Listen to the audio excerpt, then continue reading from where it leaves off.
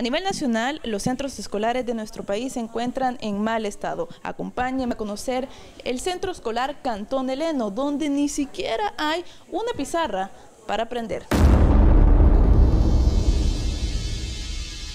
Se sienten olvidados. Son casi 80 niños los que no han desistido de sus sueños de ser profesionales a pesar de estudiar en un horno. Las eh, situaciones de la escuelita sí de verdad están bastante mal.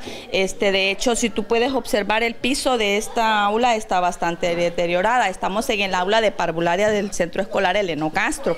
Y si puedes ver también lo que son la división que divide el aula de parvularia con la de primer ciclo está bastante deteriorada, aparte de otras necesidades que sí tenemos, como es el techo, este, como es el piso, los baños. Ustedes ya pudieron andar observando y sí son bastante las necesidades que nosotros tenemos. Hay una que está afectando incluso con la asistencia de los niños, que es la infraestructura, la lámina. Los niños ni siquiera quieren venir por la cuestión del calor. Pues fíjate que sí. Nosotros tenemos años de estar este, trabajando con una infraestructura que está hecha de dos materiales como pueden ver, es la lámina y el, cemento y el ladrillo.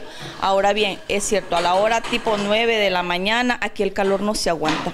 Y esto afecta más que todo a los niños pequeños que ellos con tantito ellos se desesperan, pues de hecho nosotras como docentes también aquí esto es inaguantable, pues no, no se puede, pero como ni modo, es lo que tenemos y es con lo que nosotros trabajamos.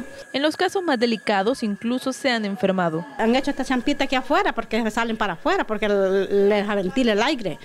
Ah, pues es porque adentro no aguantan la calor. El nivel de aprendizaje ha disminuido considerablemente. Los niños no quieren venir a la escuela porque es muy caliente. Entonces, otra cosa, que los niños no quieren venir a no ir al servicio porque les da miedo, porque es un servicio de hoyo.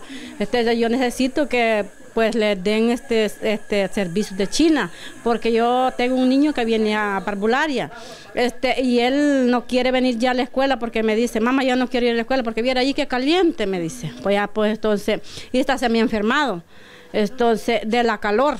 Ah, pues entonces quizás está padeciendo los riñones y ayer lo iba hasta el hospital porque me, le agarrado este como dolor de estómago. Los alumnos no se quedan callados, piensan que las láminas es lo más que pueden aspirar. Lo quiero ver con láminas más bonitas, más pintado y el suelo lo quiero ver más cementado porque como usted ve, mire, está todo rajado y cuando llueve entra un poquito de agua. ¿Qué quieres ser cuando sea grande? Mm, profesora de matemáticas. Pues ¿por qué quieres ser profesora? Porque me gusta mucho la materia matemática. Y... ayudar a otros niños? Sí. No tienen por qué mentir sobre una realidad que viven a diario. Hay muchos niños que parados escriben, no tienen pupitre. Y ni hablar sobre la falta de pizarra. Como usted mire, mire, eso es lo de cuarto y eso es lo de quinto.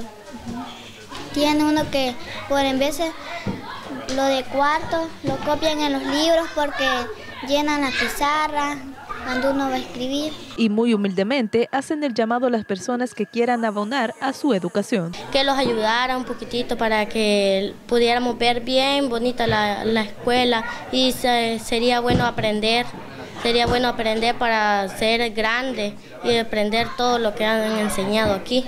Con imágenes de Dagoberto Alfaro, Alejandra Arevalo Noticias, Cuatro Visión.